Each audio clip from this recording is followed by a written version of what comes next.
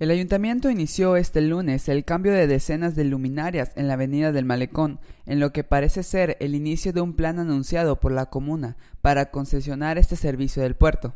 Desde temprano, trabajadores municipales se encargaron de la sustitución de luminarias, por lo cual utilizaron tres grúas canasta, los trabajos se realizan bastante rápido a lo largo de la avenida y al parecer continuarán por otros sectores de la ciudad. Los trabajadores explicaron que se están retirando las luminarias viejas por otras ahorradoras de tecnología LED. Como se sabe, el ayuntamiento ya anunció un proyecto para concesionar a una empresa privada la sustitución de luminarias por nuevas lámparas LED de alta eficiencia energética, similar a como sucedió en el fallido proyecto de la ciudad capital. En este caso, el proyecto contempla el cambio de más de 5.000 lámparas de todo el puerto y comisarías, con una inversión de 50 millones de pesos. Aunque las lámparas ya comenzaron a ser instaladas en varios puntos del puerto, el asunto no ha sido tratado en Cabildo. Al menos así lo han confirmado regidores que señalan no estar enterados del tema. Pero lo que es un hecho es que las lámparas ya se están cambiando en las calles del municipio. Con información de Oscar Pérez e imágenes de Ángel Casanova, Progreso Hoy